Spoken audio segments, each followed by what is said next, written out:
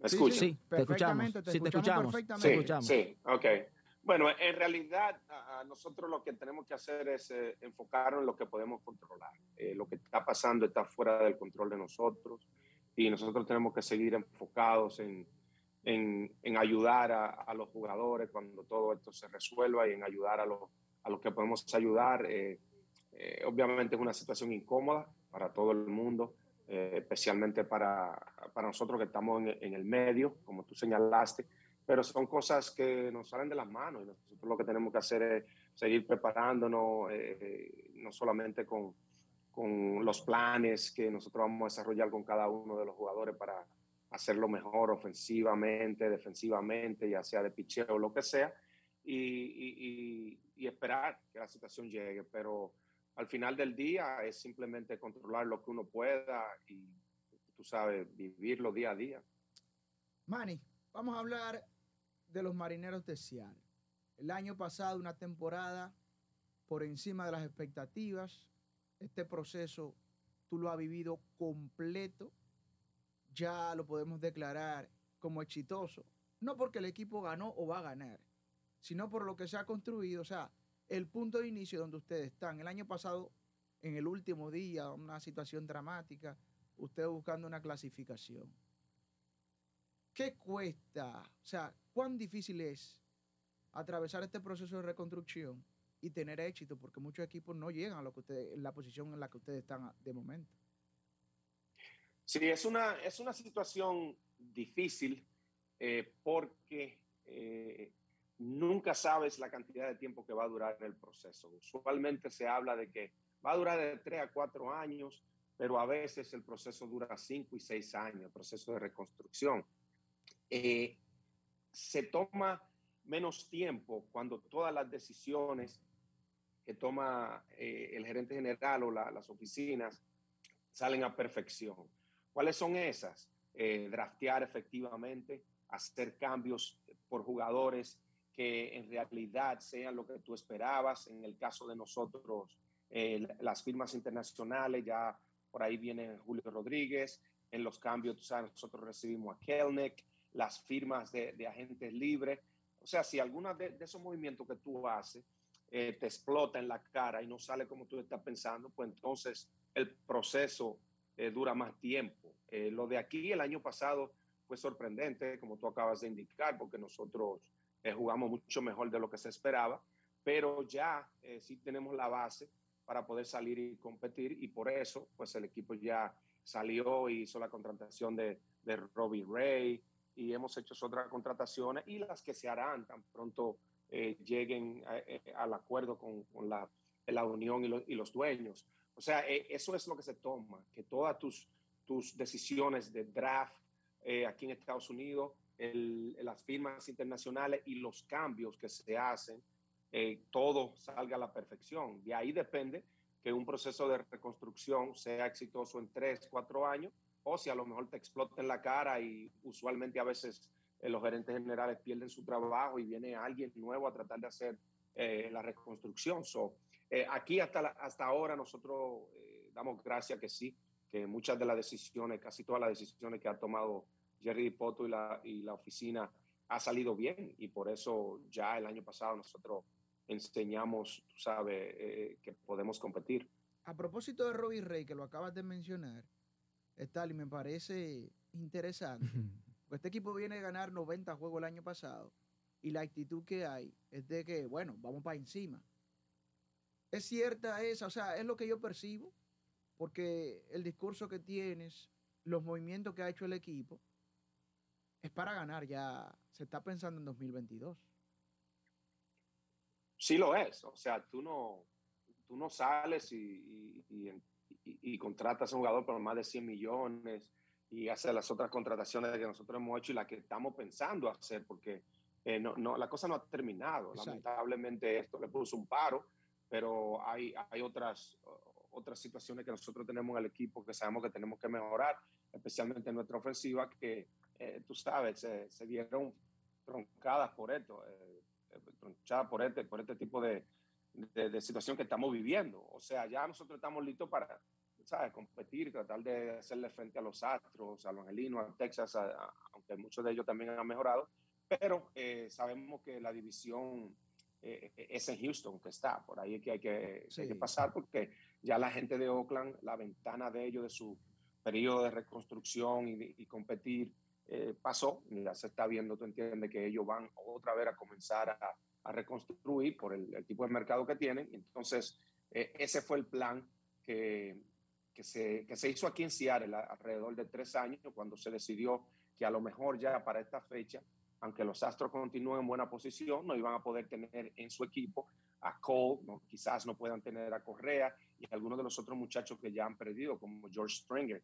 Entonces, el plan era ese, no podemos competir de tú a tú con ellos cuando tenían eh, todo, todo, todo ese, ese arsenal de jugadores. Era imposible. Era imposible entiendes? Entonces la proyección aquí es, bueno, a lo mejor dentro de, dentro de tanto tiempo ellos no van a poder mantener ese, ese presupuesto y ese tipo de jugadores ahí y sería la oportunidad para nosotros competir. Y hasta ahora ha resultado. Eh, esas 90 victorias, nosotros sabemos que tú sabes que eh, jugamos un chin por encima de nuestra cabeza, como se dice, pero aún así, tú sabes, nosotros pensamos mejorar el equipo y es para adelante que vamos, tú, tú, acabas de mencionar.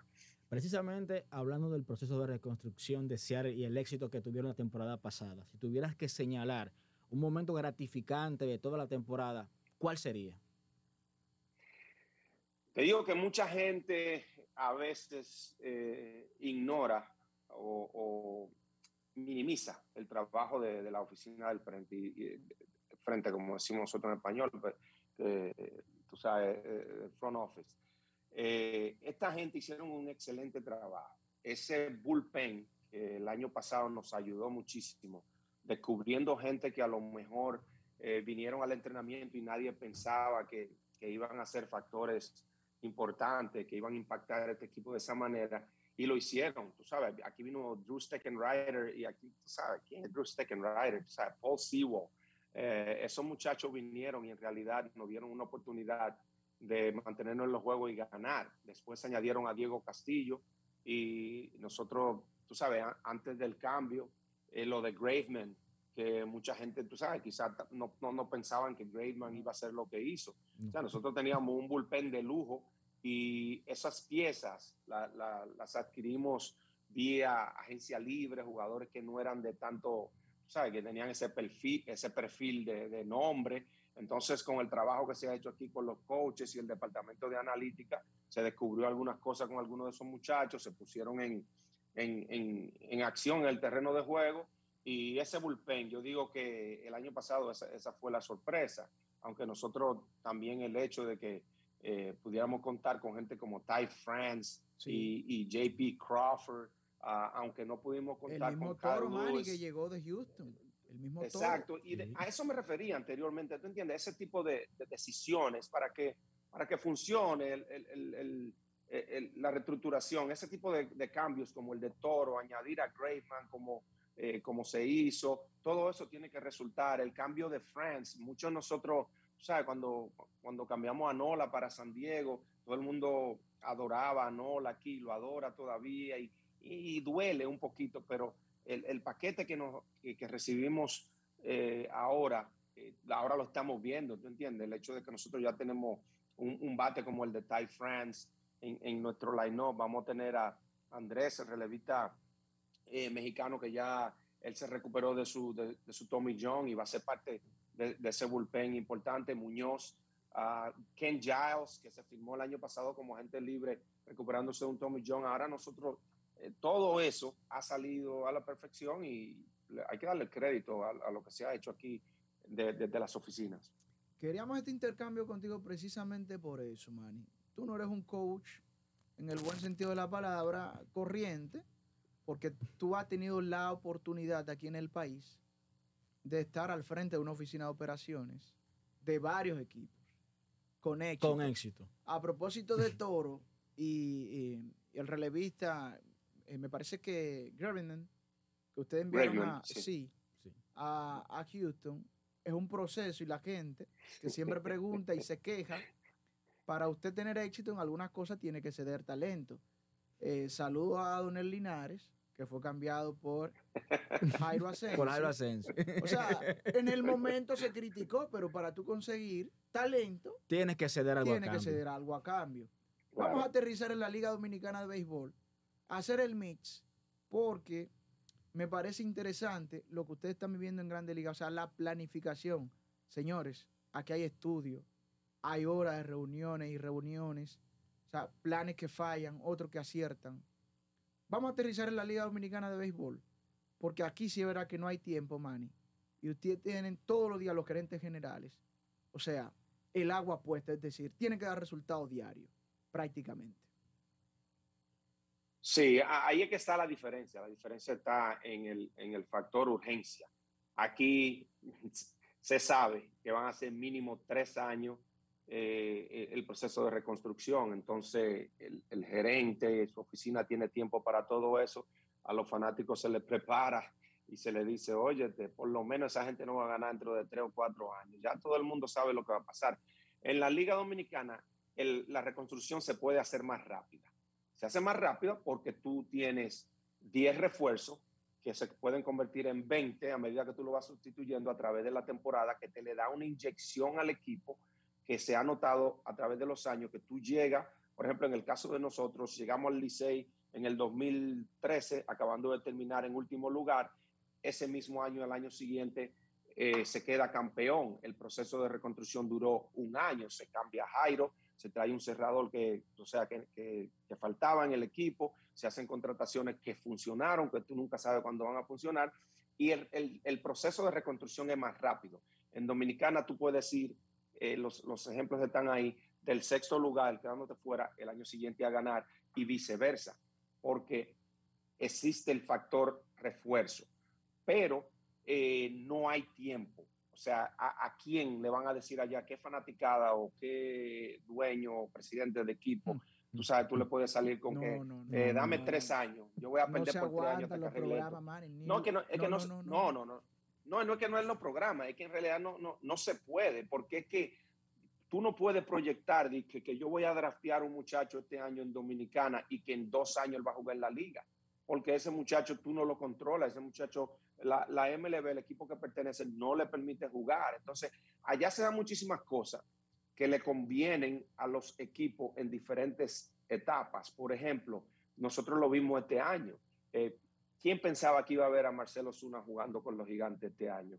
Eh, y pasa anualmente. Anteriormente, por el ejemplo, en Águilas hubo un año... Cuando gana el campeonato con las estrellas, él viene a jugar porque se lesiona en medio de la temporada, se fractura un dedo de la mano y termina de completar aquí lo que le restó en Estados Unidos. Exacto. Eh, hubo un año que nosotros estábamos en Águilas que eh, llegamos, veníamos también del último lugar. Ah, una reconstrucción, se hacen un par de cositas, se hacen un par de movimientos, pero resulta que los refuerzos ayudan y también, eh, por ejemplo, ese año Wilmer Defoe necesitaba jugar pelota invernal.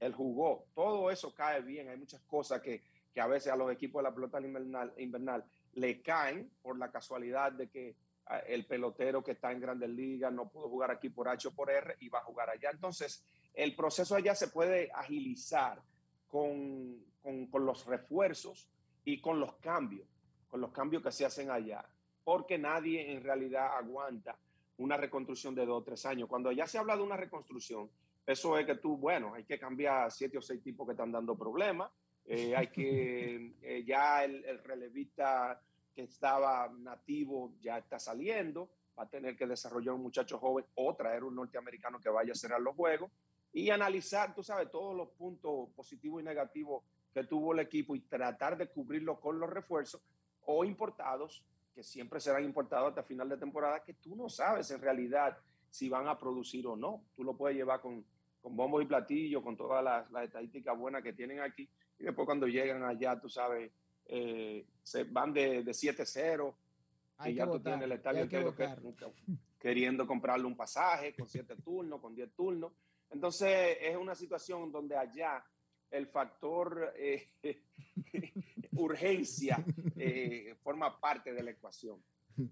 Manny, ¿cuál consideras que es el principal escaño o problema que tiene un gerente de República Dominicana? Y si sabes cuál es el problema, ¿existe alguna forma de arreglar ese problema? Bueno, eh, hay depende de la situación donde, tú estés, tú entiendes. Eso no es fácil para nadie, tú entiendes. Y al final del día, eh, el gerente general puede hacer lo que le dé su gana. Lo que tiene que hacer es, llevar el proceso correctamente, pero después está sentado en la grada y tengo una oficina. Lo que pasa en el terreno uno no lo puede controlar. Todo el que está ahí tiene la habilidad, eh, la inteligencia para, para hacer un buen trabajo pero no siempre pasa. Tú no puedes controlar el, el, resultado. Ganar no es tan fácil como la gente piensa.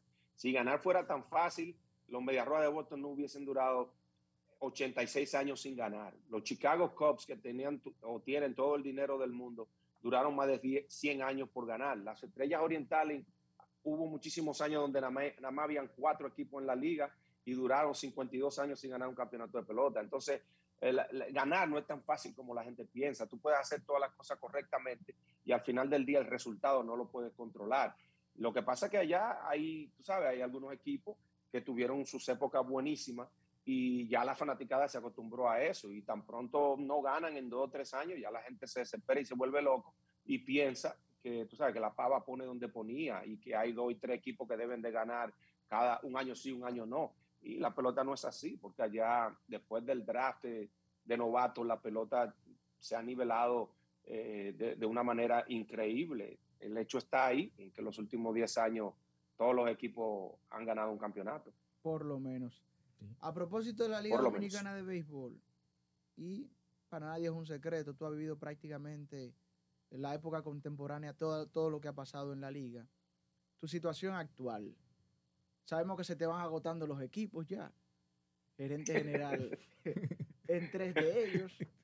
Dirigente en tres equipos también. O sea, ya se te van agotando los equipos. Cuéntanos de eso. Sí, pero los equipos no se están agotando porque yo he estado en ellos. No, no, no. Uno, no, tiene problemas con los equipos. Exacto. Uno no tiene problemas con los equipos, uno tiene problemas eh, con, cierta personalidad de aquí a allí con, y, con cosas que pasan. Pero, pero para eh, que se entienda, Mari, cuando digo que se te van agotando, es porque ya tú has, tú has tenido una estadía. Por el 50% de la liga. Ya tiene el 50%.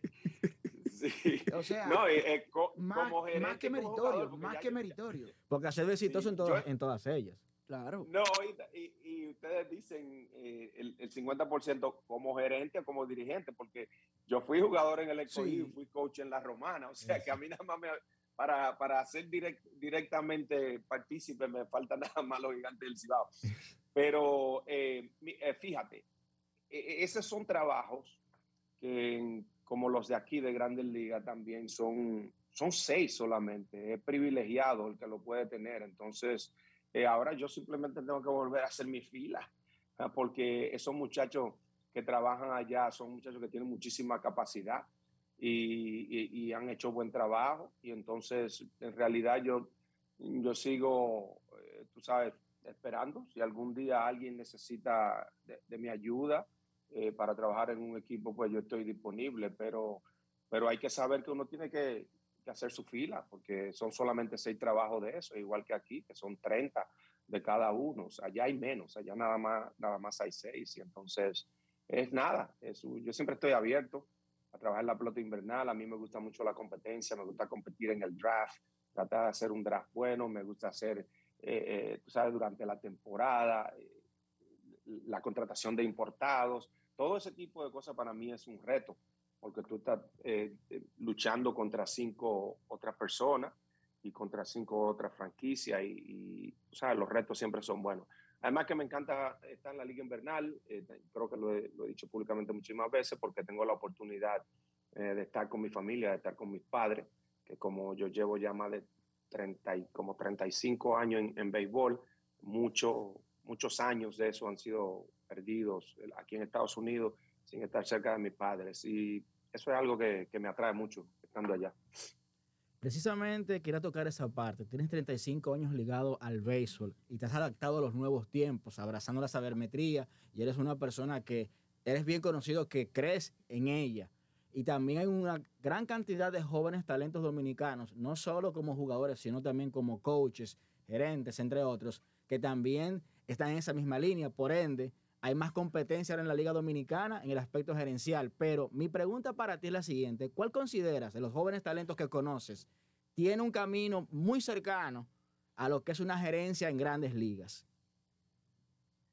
Fíjate, eso, eso es un largo viaje eh, por recorrer, eh, ser gerente aquí en, grandes ligas, porque en realidad no es tan fácil. Nunca ha sido, por ejemplo, en mi caso, nunca fue una meta eh, y no creo tampoco que tenga la, capacidad para hacerlo. Las cosas no son tan fáciles como mucha gente lo ve allá, eh, creyendo que el que puede gerenciar un equipo de allá puede gerenciar aquí en Grandes Ligas. Hay demasiada, eh, demasiadas cosas que manejar y hoy en día la preparación de la mayoría de los gerentes aquí en Grandes Ligas son tipos que, que van a universidades Ivy League aquí, que se preparan, que hacen maestría de todo tipo.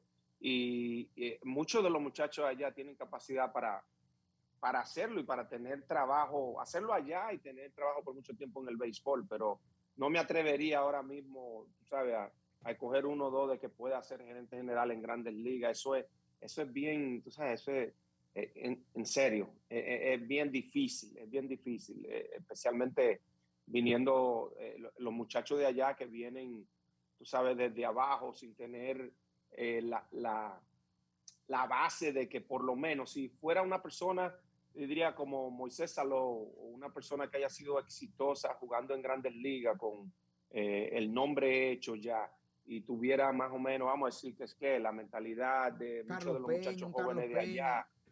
Exacto, y, y, tenga la mentalidad de esos muchachos jóvenes de allá que, que están abiertos a la analítica, pues ya es una cosa diferente, pero eh, ellos tienen en su contra el hecho de que eh, no han sido personas de béisbol reconocidas aquí y eso le puede tomar más tiempo. Yo no estoy diciendo que ninguno lo, lo pueda hacer, pero le, le, va a ser un poquito más, más difícil.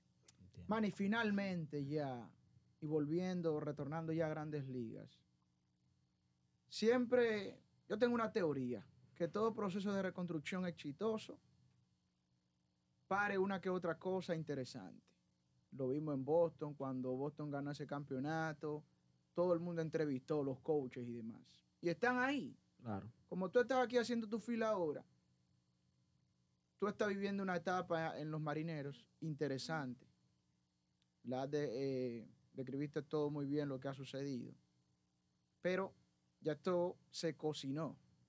¿Existe la posibilidad de Manny Acta dirigiendo en grandes ligas?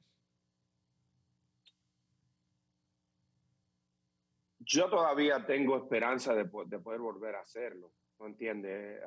en los últimos años eh, parece como que la ventana se me cerró. ¿No entiendes? Porque eh, creo, se abre ahora. creo se abre ahora. Bueno, se, se, puede abrir. Lo que pasa es que el, ha cambiado un poco eh, la manera de, de, contratar los dirigentes. Ahora ya están yendo más directo a, a exjugadores, jovencitos, sin, sin, tener ningún tipo de, de experiencia. Eh, además, la gran mayoría de gerentes general que están ahora mismo en grandes ligas, yo no, no los conozco, ni siquiera los conozco, ¿tú entiendes? Y, como todo, eso ayuda. En el tiempo que yo, que yo estaba trabajando cuando yo comencé, pues yo conocía a una gran mayoría de ellos, Era, eran de la misma edad mía y, lo, y los conocía.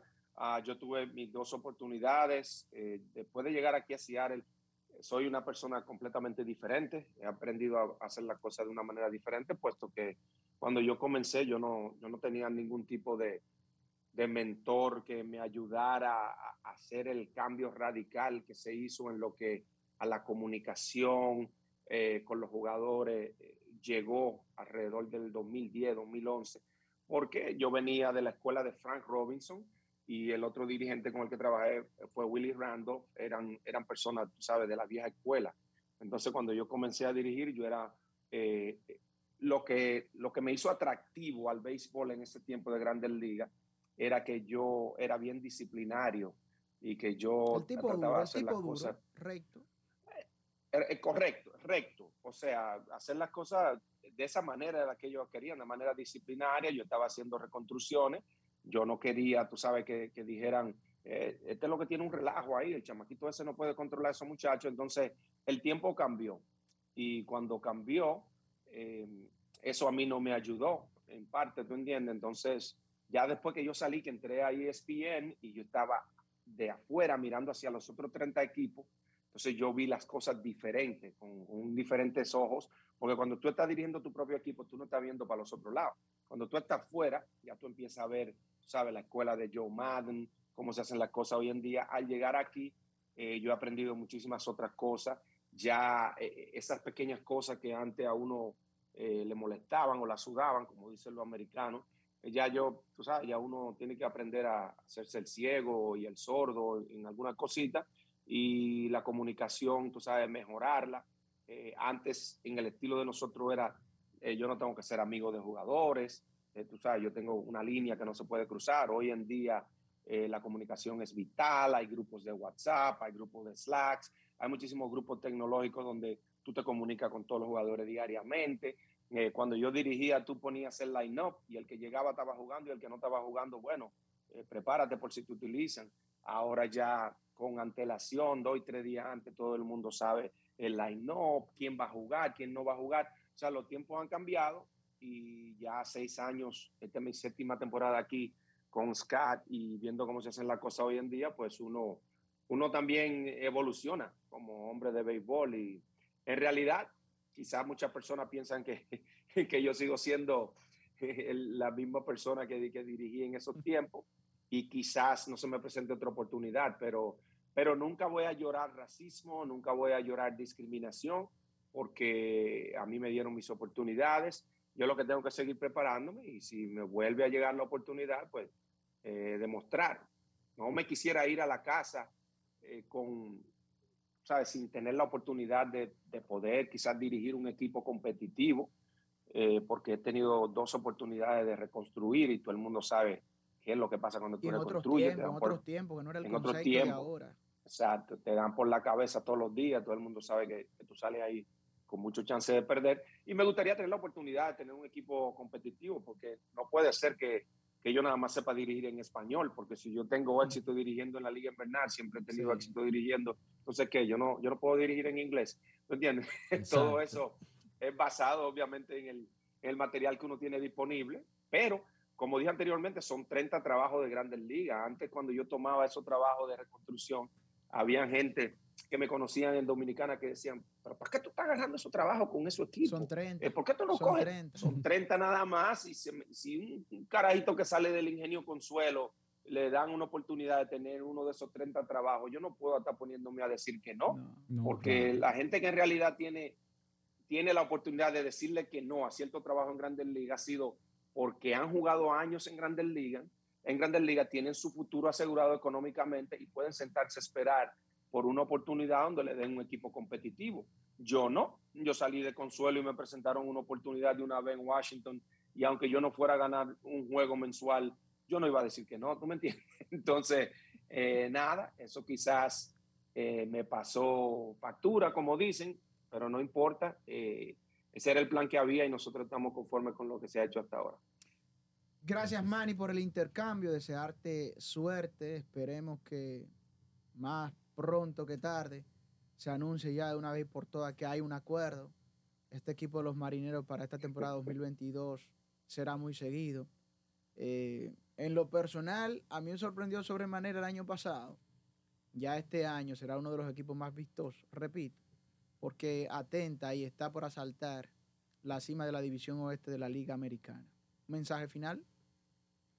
Sí, no, yo agradezco el respeto y el aprecio que nosotros siempre recibimos. Estoy contigo, creo que el equipo de nosotros va a ser uno de los equipos a seguir, especialmente porque pronto nosotros vamos a tener aquí a Julio Rodríguez, que es el próximo gran pelotero dominicano aquí en el Big Show. Y nosotros, tú sabes, con esa inyección que nos va a dar Julio, Kelnick, Kyle Lewis, eh, estando eh, saludable y la gran mayoría de, de, jugadores que ya nosotros tenemos en el plantel. Es un equipo que va a dar agua a beber y que la gente le va a dar seguimiento, especialmente para ver a Julio y quizás en par de años también ver a, a Noelvi Marte, que es uno de los mejores Muy prospectos bueno ese muchacho, del man. béisbol. Muy bueno. Muy bueno Noelvi. Sí, Lo sí. pude ver aquí en la Sí. Liga Invernal con los Gigantes y luce por encima ese muchacho. Sí, es impresionante. Está Sí. aquí también en el, en el, en el mini camp y en realidad esas, esas evaluaciones que se han hecho de él, se las merece. El tipo va a ser muy buen jugador aquí en, en Grandes Ligas. Gracias a Manny Acta desde Arizona, que estuvo con nosotros. Tenemos que hacer la pausa comercial. Luego de la misma venimos aquí para, bueno, lo abro un poquito más de lo que tiene que ver eh, con las grandes ligas, las noticias que hay relacionadas a la reunión de hoy y la gente que está preguntando, Stalin, ¿quiere béisbol la Quiere gente? béisbol la gente. Pausa, volvemos.